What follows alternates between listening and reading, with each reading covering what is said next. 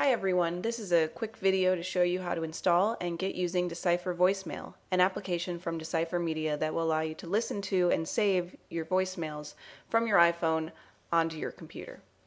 Uh, to get started, I've downloaded Decipher Voicemail and actually our bundled Decipher Voicemail and Decipher Text Message uh, from the Decipher Media website. However, this video is just about voicemail. As you may have guessed, there'll be another video about Decipher Text Message. To install the application, we're just going to drag the icon into the applications folder. And then before we launch it, uh, we're going to back up our iPhone. And the reason we do this is that the Decipher voicemail application actually reads the voicemail data from your backup rather than from your mobile device. So if it's been a while since you backed up your iPhone or synced it, you may want to do this now. If you've been syncing it, you're probably just fine. To do the sync, we're going to open iTunes and then right click on my iPhone and click backup. And I'm not going to do this right now because it takes a few minutes and I don't think anyone wants to watch that.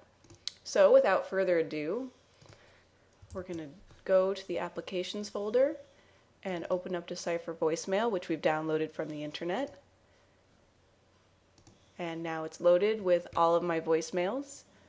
Uh, from here, I can click on them to listen to them and while I'm listening to them, I can save them. Or if I don't want to see this voicemail on the list, I can click delete. Clicking delete won't delete anything from your iPhone.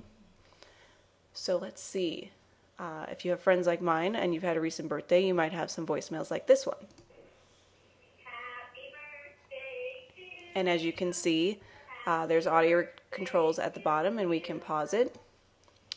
And if we wanted to save this for posterity, I could click save and it would bring up a little save dialog. And that's it.